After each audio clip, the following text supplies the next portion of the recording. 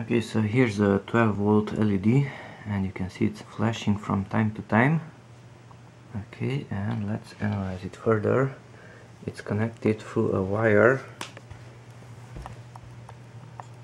to an amplifier. That's a sound amplifier and the sound amplifier receives the audio input from this device, this little portable MP3 player and what you see here is basically the voice or the music that is playing from the MP3 player.